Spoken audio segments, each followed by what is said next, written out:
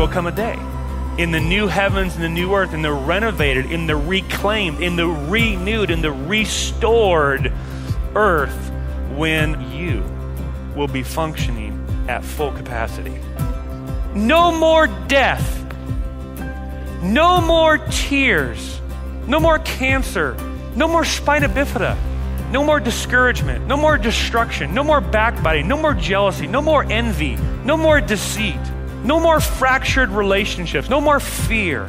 Could we just uh, let our imaginations run a little bit in what life might be like in a renovated universe, purged of all evil, with the people of God purified and perfected forever in His unhindered presence, experiencing only joy? This is a place you want to be.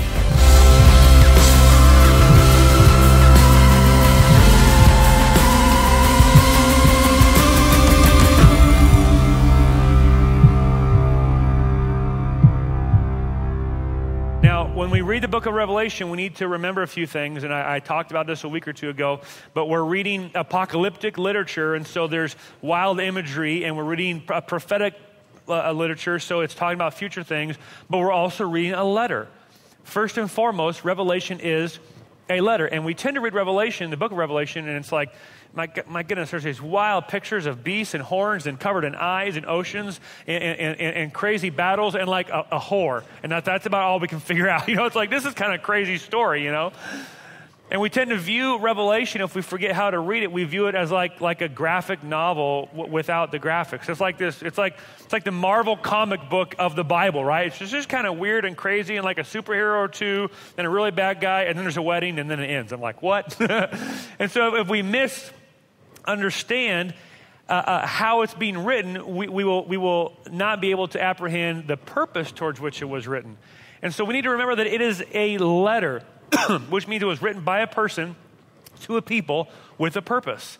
And if we forget that, we'll think it's this incomprehensible mystery that, that, that, that, must you know, be saved for the seminary students. And we forget, no, no, this was written by John to the church with a purpose. And the purpose was to buoy their faith and to give them a sense of fortitude that could face persecution. And we know that, in fact, that was the case because soon after re- receiving this letter, there was a wave of persecution that moved across the Roman Empire, uh, instigated by the emperor himself against Christians, so much so they were being tortured and killed for their faith, which means on the brink of persecution like the church had never known, God wanted to say something to the people, and he wrote this letter. And so I want us to kind of sit with that a moment because it's easy to read Revelation and go, this doesn't make any sense. Why, why, why is this here? It's, it's kind of it's a mystery to me and move on. And if we don't understand how to read it, we'll miss the purpose of it. And there's a lot here for us. It, nothing is written in the Bible just to know. It's like, yeah, there'll be a test at the end, make sure you know it. Nothing is written like that. The Bible is written it's, it's, a, it's a practical book. It's written for us, where we're at right now. And so let's just picture that, like, the White House turns upside down and there's a coup and democracy gets completely flipped on its head and, and martial law is declared and it is now illegal to serve Jesus and they are hunting you down with drones and your cell phone and they're, and they're, and they're looking all folks who went to Grace City Church or whoever, you know, you know did a, a charitable tax write off to a church and they're finding you somehow and they're droning your location and they're, and they're, they're taking you and, and they're dragging you to the town Toyota Center to feed you to lions they flew in from South Africa who they had not eaten in a week. Like, like, like that's, that's the precipice that the people stand on that received this letter. Which means there must be something in here for us that maybe we've missed before. Because what we know is true in history, it's an inarguable fact. The Church of Jesus Christ faced persecution with unflinching courage, and unflinching hope, and unflinching and unwavering faith. They had been given something, they had been deposited something inside their soul that was so deep and so heavy and so grounding they could get drugged into the arena and die inch by inch at the hands of lions and not be moved. Which means if you feel you're being thrown to the lions at work, or you're being thrown to the lions at school, or you're being thrown to the lions in your marriage, there's something in here for you. And let's just be honest, however bad work may be or school may be, like it, it ain't real lions. Like this word buoyed people being torn limb from limb by like real lions. If you get what's going on here, you can face tomorrow. You can face tomorrow. And so we want to take a look at this text. I'm going to read it for us just so we can get it in front of us and see some of maybe the challenges and the nuances that are here. And then we're just going to move in together. So, chapter 21, verse 9. One of the seven angels who had the seven bowls full of the seven last plagues came and said to me, Come, I will show you the bride, the wife of the Lamb. And he carried me away in the Spirit to a mountain great and high, and he showed me the holy city, Jerusalem, coming down out of heaven from God. It shone like the, with the glory of God, and its brilliance was like that of a very precious jewel, like a jasper, clear as crystal. It had a great high wall with 12 gates, with 12 angels at the gates. On the gates were written the names of the 12 tribes of Israel. There were the, uh, three gates on the east, three on the north, three on the south, three on the west. The wall of the city had 12 foundations, and on them were the names of the 12 apostles of the Lamb. The angel who talked with me had a measuring rod of gold to measure the city, and its gates in its walls. The city was laid out like a square as long as it was wide. He measured the city with the rod and found it to be 12,000 stadia in length and as wide and high as it is long. The angel measured the wall using human measurement, and it was 144 cubits thick. The wall is where it gets crazy. The wall was made of jasper and the city of pure gold, as pure as glass. The foundations of the city walls were decorated with every kind of precious stone. The first foundation was jasper, the second sapphire, the third uh, agate, the fourth emerald, the fifth onyx, the sixth ruby, the seventh chrysolite, the eighth beryl, the ninth topaz, the tenth turquoise, the eleventh jacinth, and the twelfth amethyst. The twelve gates were twelve pearls, each gate made of a single pearl. The great street of the city was of gold, as pure as transparent glass. What in the world is he talking about? I mean, seriously, right? It's like, that's great. And it made no sense. But we know that it was understood by those who first received it. So, what is going on here? A couple things to help us get into this. Title of, our, of my, my sermon this morning is This is Us. This is us. Now, I've heard there's a TV show out there called this, and so I'm not meaning to co op that, but I think it's a good title for this sermon. So if the TV show is great and helps you connect with the sermon, great. If it doesn't, I don't care. I've never seen it, but this is going to be a good sermon, okay? This is us. Now, Revelation 21, 9 through 21, uh, uh, 21 that we just read, this is our World Series moment. So a few weeks ago, I talked about how to read Revelation and understand it in that it is, it is an event that's taking place, but not necessarily in a linear form. So you watch the World Series and you see a bang bang play, and it's like that was incredible. But what was he out? Was he safe? What actually happened? And then what happens is they whoop, they rewind it and they show you that same event from multiple camera angles, and they slow it down so you can see what actually happened that you missed in the blink of an eye in real time. So it's like bang bang. Oh, what happened? Wow. Multiple cam- camera angles, same event, slowed down so you can see the particles of dust and the sweat off the face and the tag. Split second before he touched the face, oh, he's out. You can see more things when you have different angles and it's slowed down. That's what's happening here in this text. If you look at chapter 21, verse 9, he says, Come with me, and I'll show you the bride, the wife of the Lamb. And he carried me away in the Spirit to a mountain great and high, and showed me the holy city, Jerusalem, coming down out of heaven from God. Where have we heard that before? Same chapter, verse 2. Look at verse 2 in this chapter. I saw the holy city, the new Jerusalem, coming down out of heaven from God, prepared as a bride, beautifully dressed for her husband. And then he goes on. What's happening here? We're going to now see what he described in one verse in the first part of the chapter, now described and explained over 11 verses. He's taking the same verbiage, the same words, and he's saying, okay, I know I talked about it back there. Now we're going to circle back, slow things down, and you're going to see all sorts of things you didn't see when I just said it in one sentence. That's what's happening here in this text. Now, here's the big idea the city of God is the bride of the Lamb. The city of God is the bride of the Lamb. That's the punchline. No surprise here. That's what I'm going to argue for. And if you're a new Christian or you're not a Christian but you're checking this thing out, that would be easy for you to see. You'd read it, you'd be like, well, yeah, he says it twice there that he's going to show me the bride, and then he shows me the city. That would make sense. You wouldn't even need to know the storyline to connect those dots. And yet, if you've been in church a long time, this is confusing to you, and you might disagree because you had a lousy Sunday school teacher with bad flannel graphs, or you read a bad book and watched a dumb movie. Now, nothing against your Sunday school teachers. I love your Sunday school teachers. I had a great one too. But I'm saying there's been some lousy teaching on this text in the church for a while that led us to think it's something that it's not. And if we understand something out of sync with what God intended for us to see, then we won't have and apprehend the purpose to which it was written. And it won't have the effect He intended to have in our hearts when He wrote it. And I know that to be true because most people are freaked out by the book of Revelation. And yet God wrote it as a letter to comfort His people. Something's off somewhere. This is us. This picture is us. The city of God is the bride of the Lamb. I'm going to show you how so.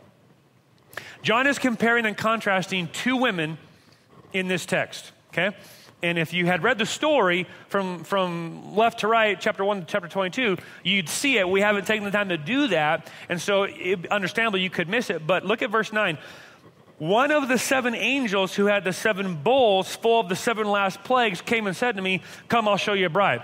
Now, if you're reading this, realizing that the, the book of Revelation is heavy on imagery, heavy on illustration and metaphor, you'd be like, Seven, seven. I, I just read that somewhere. Oh, yes. And you would turn back to chapter 17 because we don't need newspapers to interpret Revelation. We use the Bible to interpret the Bible. We use the book to interpret the book. You go back to 17, verse 1, and you would read, oh, right, right, right. One of the seven angels who had the seven bowls came and said to me, Come, I will show you the punishment of the great prostitute who sits by many waters with her the kings of the earth committed adultery and the inhabitants of the earth were intoxicated with the wine of her adulteries. What's happening here? John is comparing two women not two literal women two metaphorical women one representing the antagonistic humanity.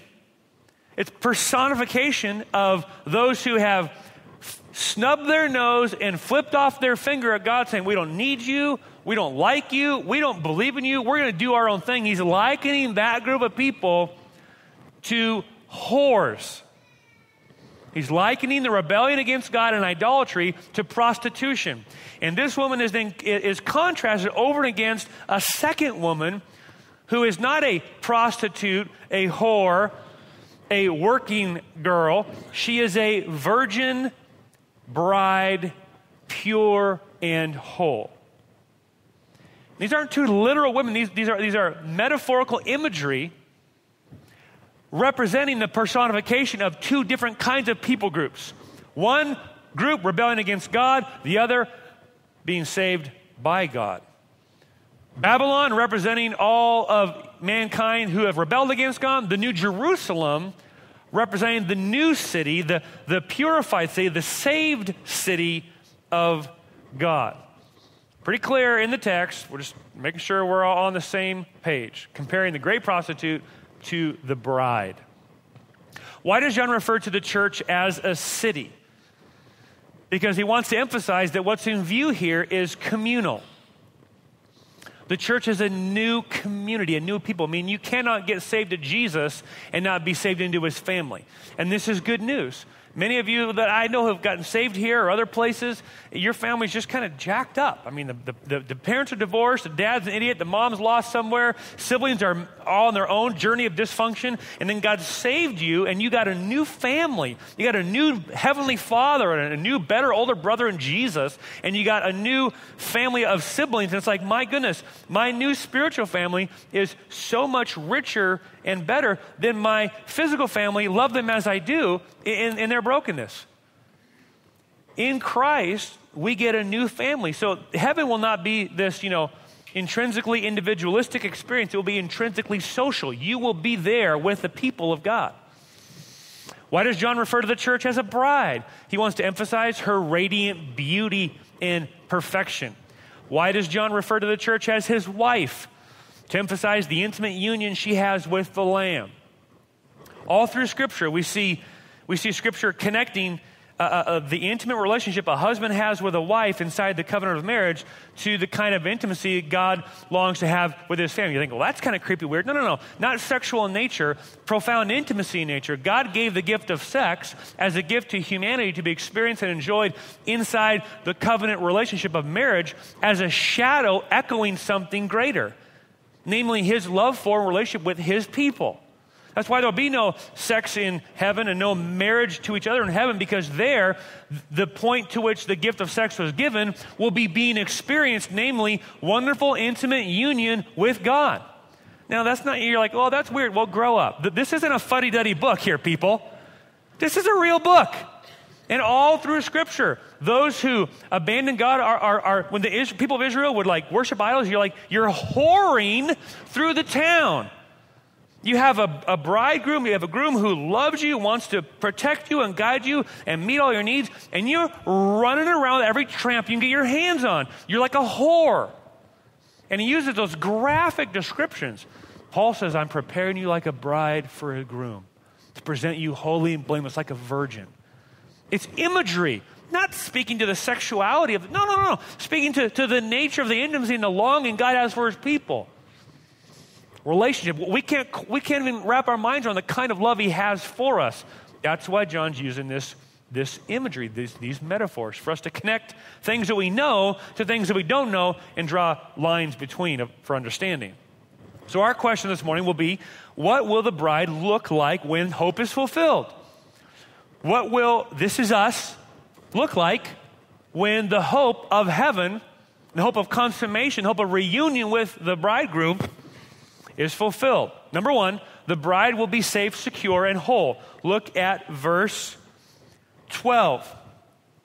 Oh, verse 11. It shone with the glory of God, that's the city, and its brilliance, namely the city, was like that of a very precious jewel, like a jasper clear as crystal. It, the city, had a great high wall with 12 gates and with 12 angels at the gates. Now, if you were to identify modern day cities, how would you do it? What, what, what defines and gives identity to modern day cities?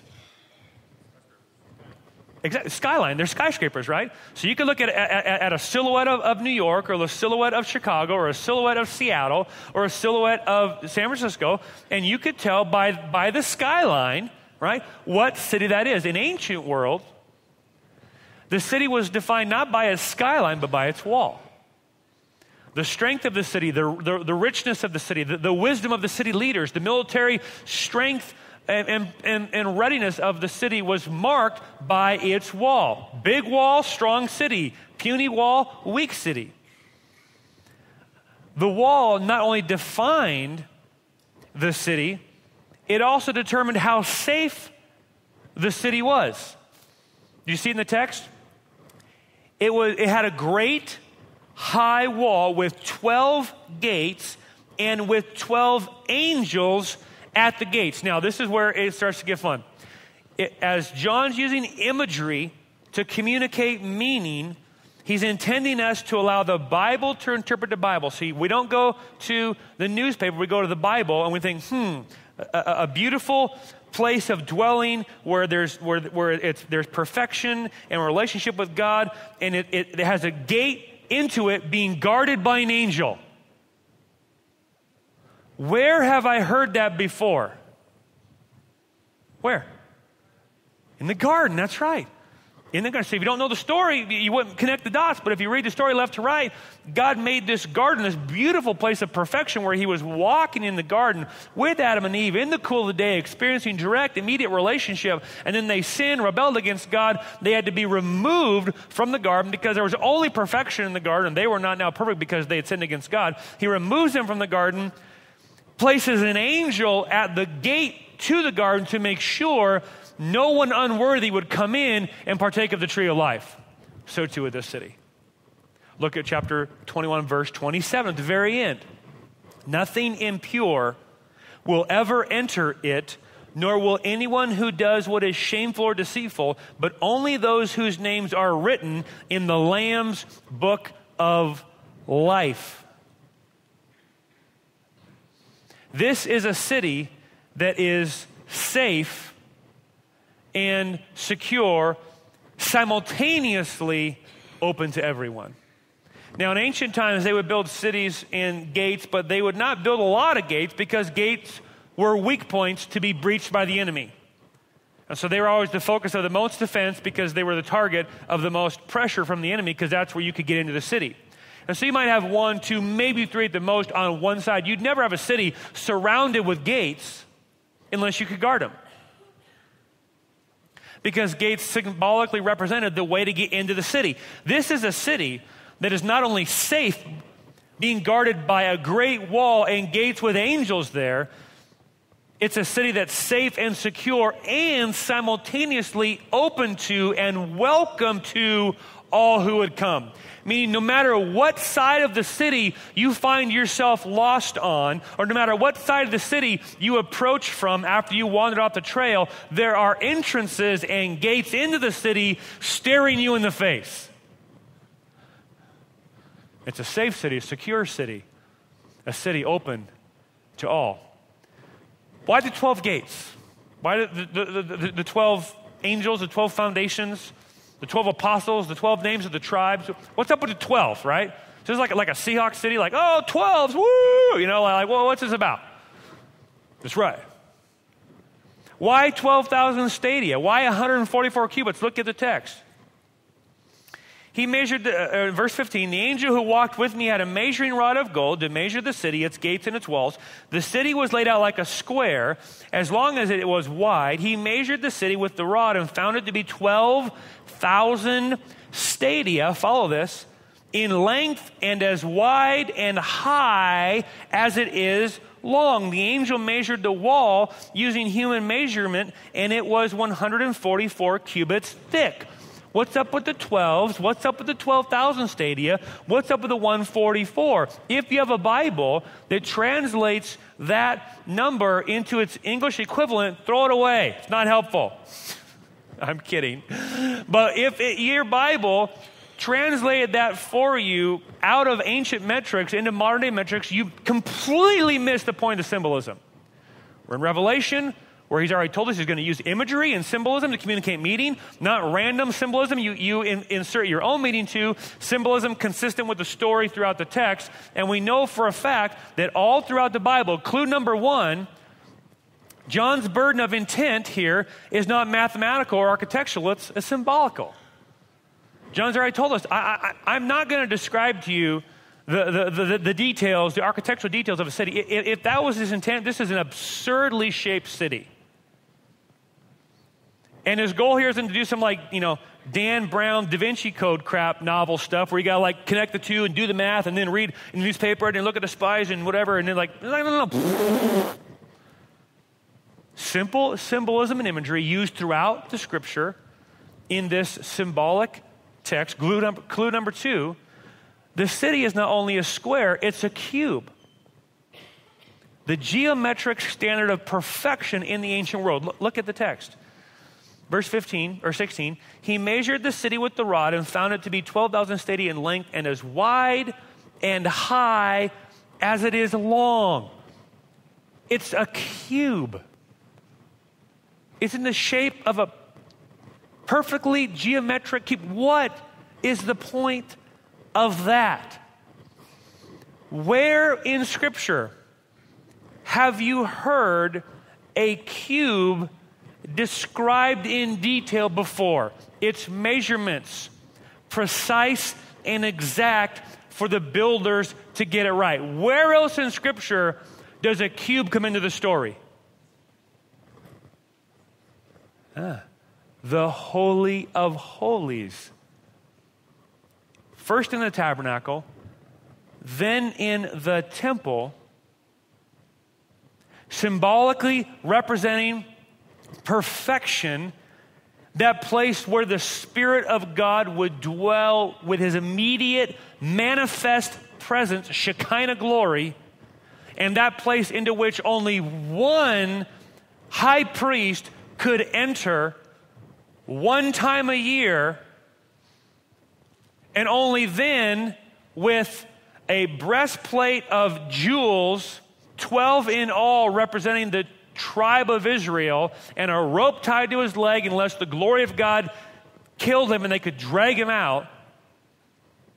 That's the only other place in Scripture where a cube is described. And now here we have this entire city of God being described with precise detail as a cube.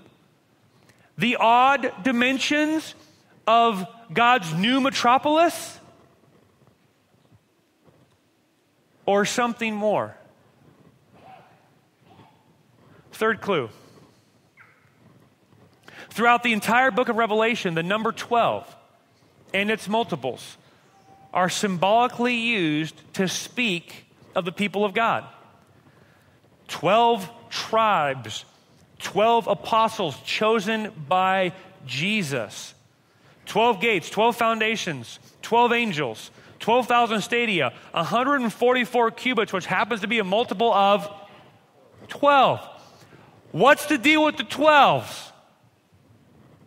Very, very simply put, the city is safe and secure and populated by the full complement of the church in the immediate presence of God. Or the city is nothing less than the full and complete expression of the people of God. This is us.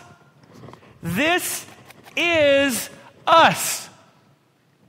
Meaning, when you get to heaven and you experience this moment of consummation, it will ignite and start the greatest, most epic intergalactic family reunion you have ever participated in. You don't have to Google, you know, your name and find out who your heritage is on earth. Abraham is in your story.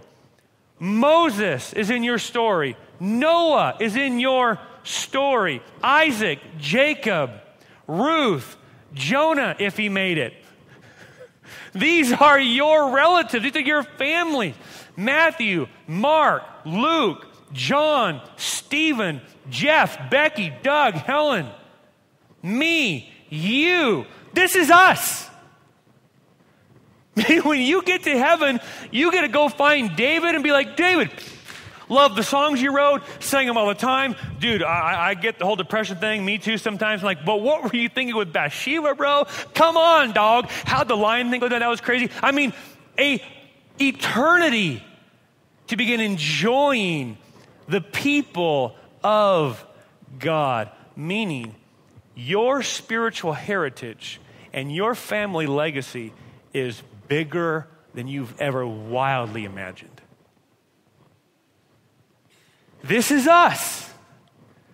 This is the church.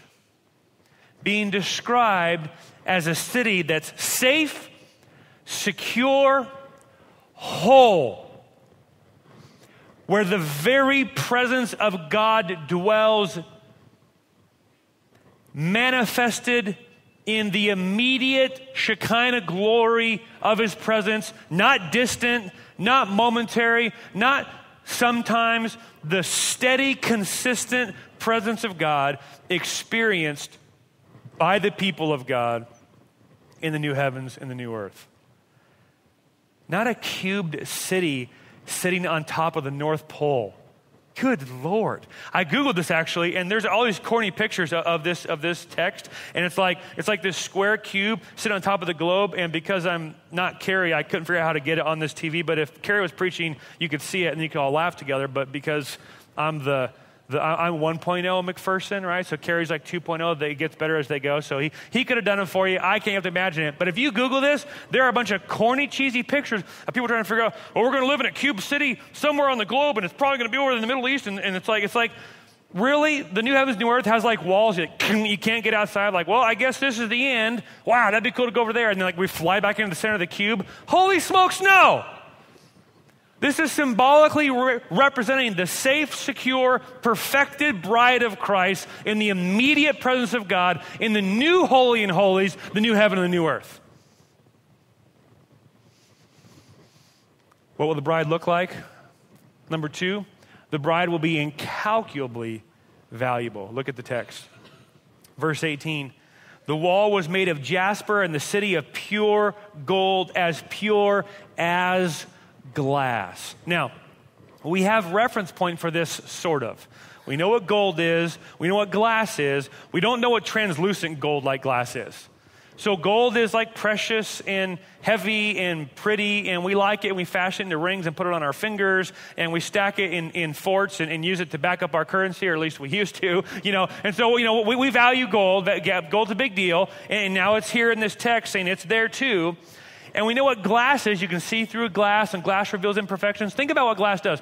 When you have glass, I have my glasses, yeah. When you have glass, glass allows you to see the, the slightest imperfections. So the reason I never wear my glasses is because my glasses are fogged and scraped and scratched and spotted. So when I put these stupid things on, it's like, whoa, you know, it's supposed to help me see, but not really because when gr- glass is scratched, you, you can just see it plain as day. So, so I take them off and, and I can see blurry things clearer. if that makes any sense.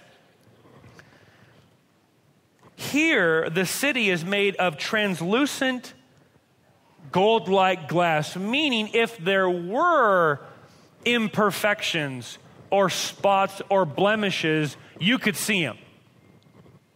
And there isn't. This is pure, this city is this whole, look, it's the whole city. The whole city made of pure gold, pure as glass. And it says it again at the end of the text.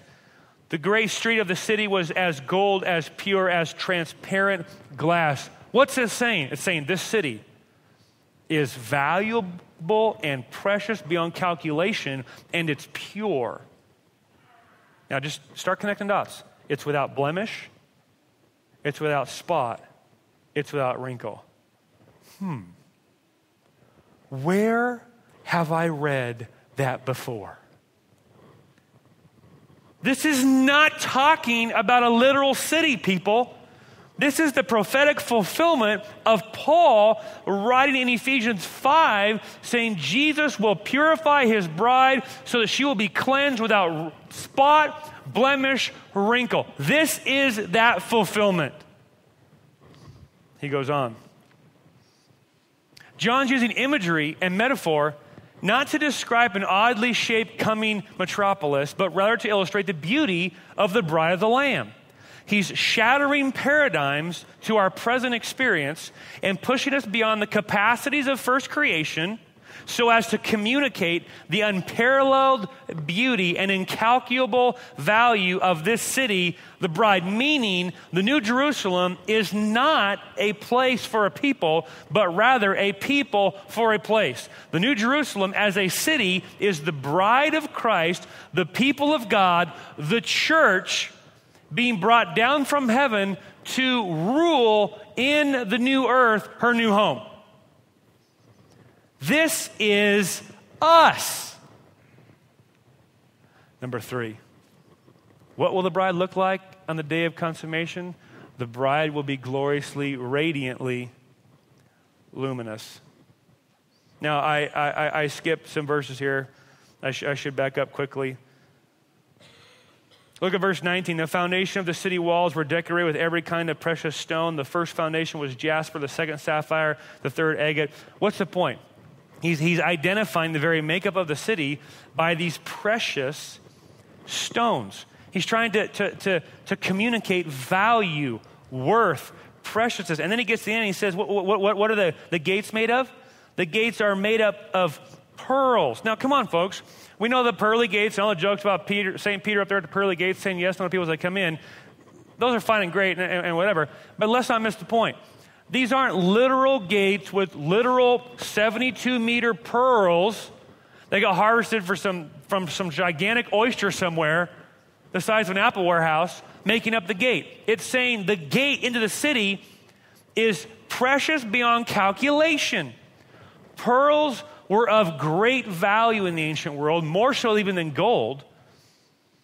Pearls were valuable more than their weight in gold. Jesus tells a story of the man who sold everything to obtain and secure the pearl with great price. Pearls were valuable, pearls were intrinsically precious. What's the point? The gateway into this city is precious.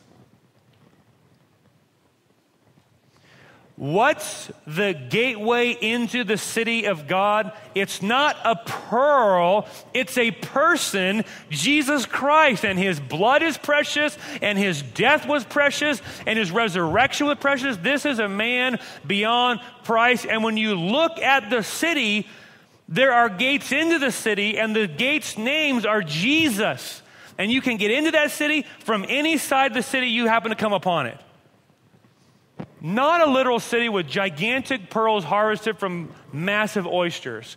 A precious city beyond value, gated by a pearl beyond greatest price. The bride will be gloriously, radiantly luminous. Look at, I skipped this.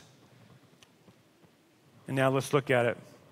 Look at verse 10. And he carried me away in the Spirit to a mountain great and high and showed me the holy city Jerusalem, coming down out of heaven from God.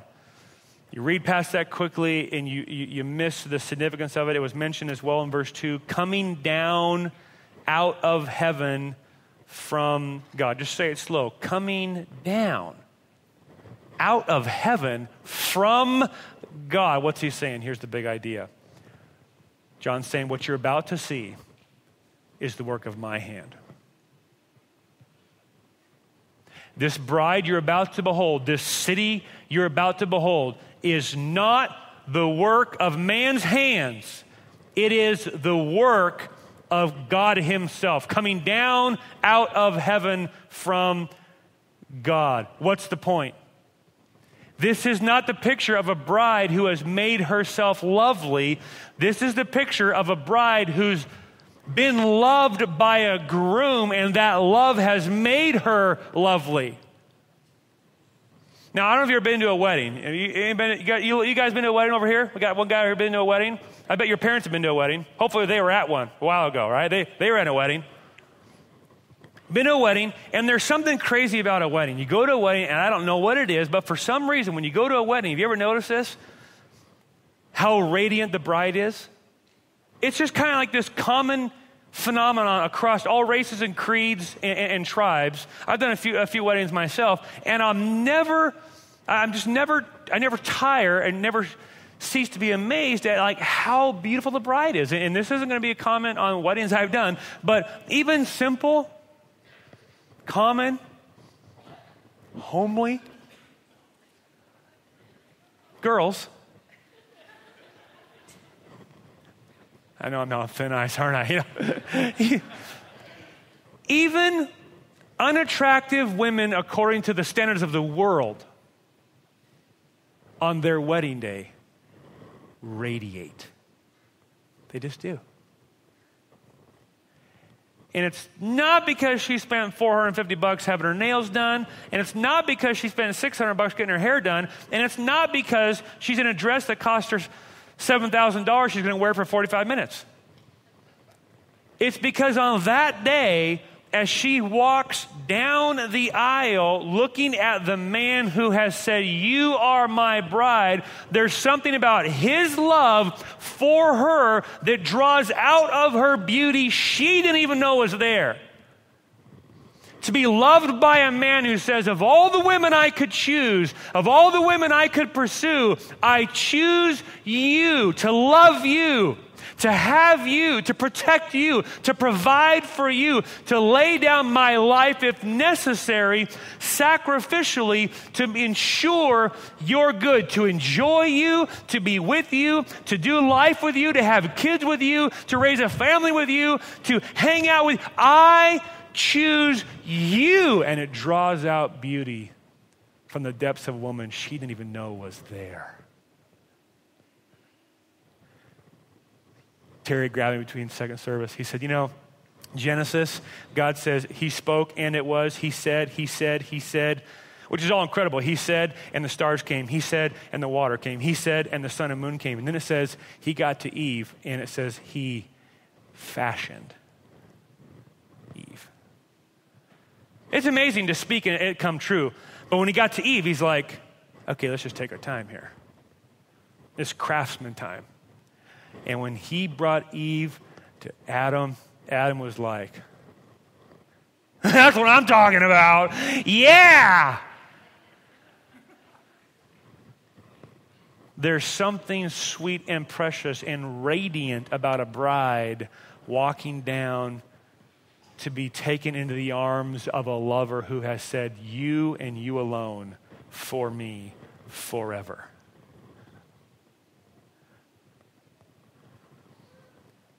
Weddings are a lot of things.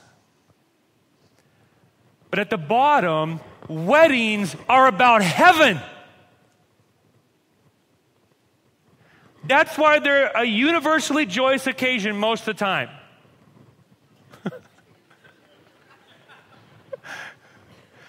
and it's broken down here and messed up down here. But weddings, people put aside stuff for weddings because this is a moment here. Weddings are about heaven. This isn't about a bride who's made herself lovely for a groom, but rather a bride who's been made lovely for her groom. And the groom's glory then becomes the bride's glory. This is mind blowing. Look at this. Chapter 21, verse 11. And that city shone with the glory of God, and its brilliance was like that of a very precious, precious jewel, like a jasper, clear as crystal. Where else have we heard crystal used, crystal used in Revelation? Only one place, friends. Chapter 4, at the throne, John beholding the very radiance of God Himself, so bright that he could not even look upon it.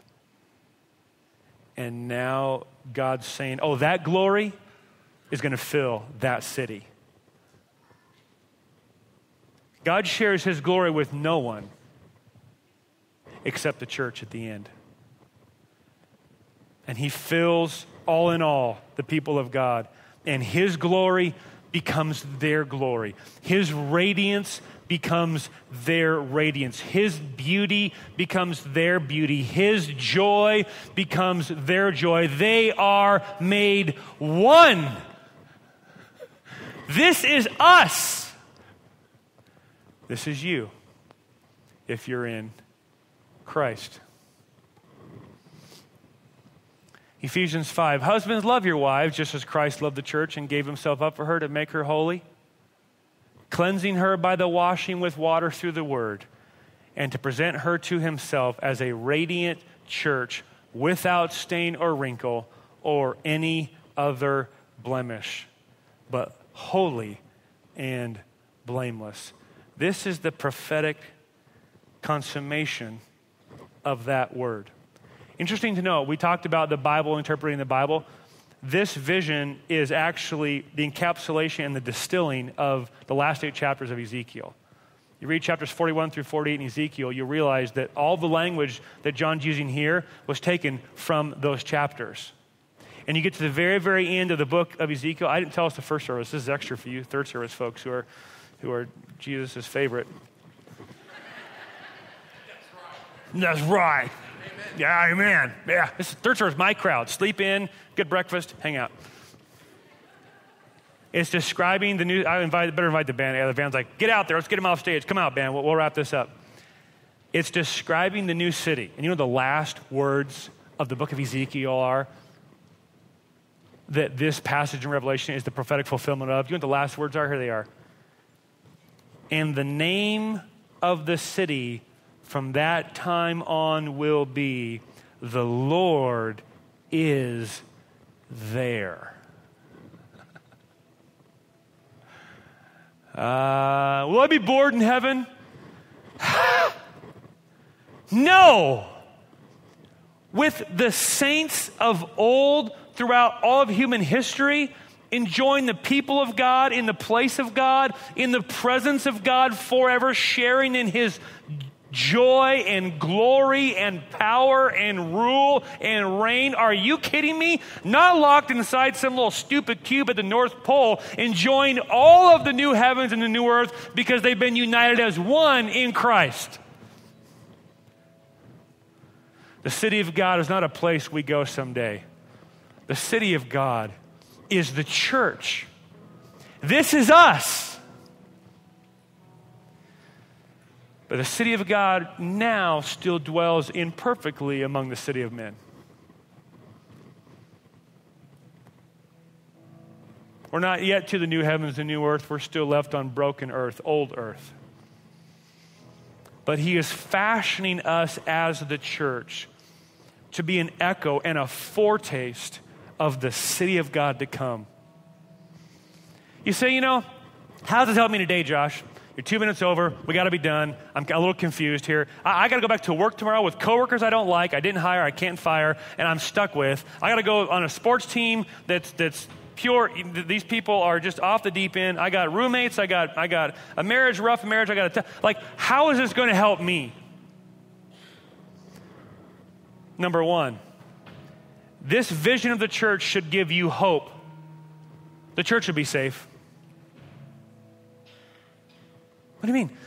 This is a vision of the city of God as the bride of Christ, representing the very people of God, and they will be safe and secure forever. That's their destiny, meaning, no matter what idiot walks in the back of a little chapel in Texas and spreads death and destruction for a few moments,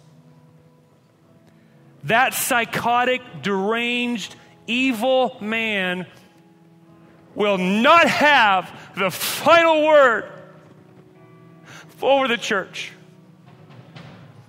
That in Christ, they are secure and they will be made safe forever. No bullets, no guns, no lions can touch this city, this bride, this people on that day.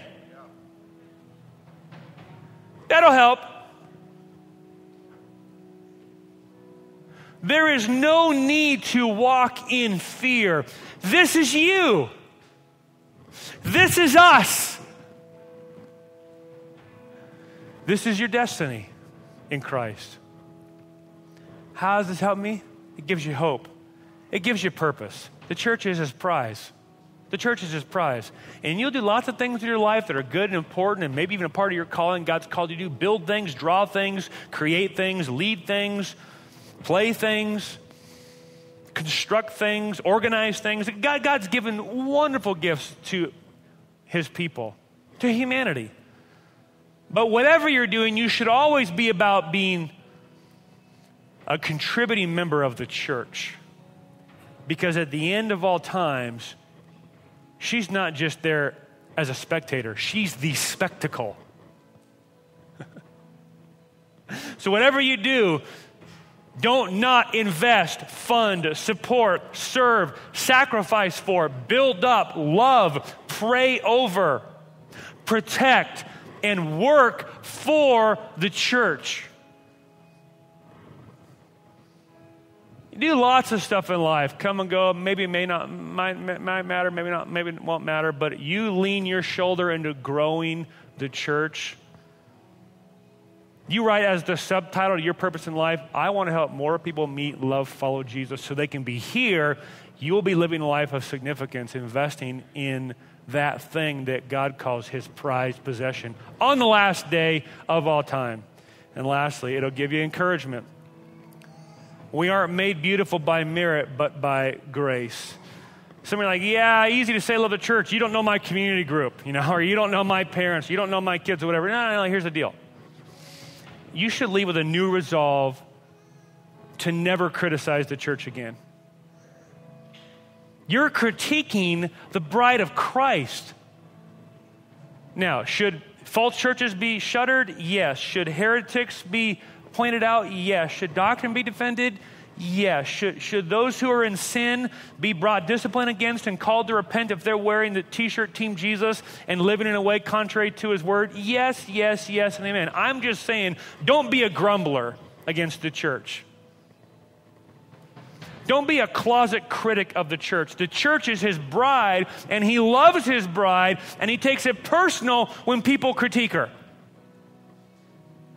So let's, and I'm, I'm including myself in this bus, let's just resolve to be people of grace and patience with the church, this church, because sometimes I get frustrated with y'all and you get frustrated with me. What do we expect? This is broken version of me. And your broken version of you, and there's some newness breaking in, but there's better newness to come. I'm not yet what I'm supposed to be, but I will one day be all I was made to be, and that's going to be a good day. And you'll be like, thank you very much, finally, and so will you be. And so we can have patience with each other, knowing that one day God will complete the work, and He'll do that. We don't have to. But whatever we're found doing, we want to be found building up the church. Grace City Church. Grace City Church. We are on our way to living in a city, the very people of God whose gates are the very embodiment of grace. And until then, we have been called to embody that grace to our broken city. We are on a way to a new and whole city, the city of God, with the people of God in the place of God. Until then, we are to be the embodiment of the city of God to the city of man we live in today. When you see a picture of heaven, hope, purpose, encouragement, it buoyed the saints of old in the face of lions. Do you have it? Father, we're grateful for this profound vision of us and what we will one day become. Not because we're amazing, not because we're lovely, but because you took the unlovely bride and with your love you made her radiant. Father, would you fill us with this kind of hope for the church? And Father, if there are those within the hearing of my voice or listening online or watching on the app, and, and, and, they are not citizens of that new city, they're not members of that city. That city is not their home. They are currently out in the weeds, out in the briar patch, out in the forest, out in the muck, out in the marsh, outside the city, wondering if they could make their way in. Would you show them this morning, Father? Or where they're sitting in a truck or a car or in traffic or at home or working out at the gym, wherever they're listening to this right now, Father, would you show them that there is a gate and his name is Jesus and there's an invitation on the table. And that invitation is to come, to lay down the burdens of guilt and shame to lay down the work of trying to make the unlovely lovable and to simply receive by faith the love of the groom of Jesus Christ, that they too can begin the journey of becoming the beautiful bride to which he will finish his work in the end. Father, would you deposit in our heart, the church, a deep and abiding and lasting and sustaining passion to see more people meet and love and follow Jesus as a result of this small expression of the city of God living out the good news of the gospel and the hope that we have in Christ among the city of men we find ourselves living in today. For the glory of Jesus' name, we ask all these things. Amen. Let's stand together and sing.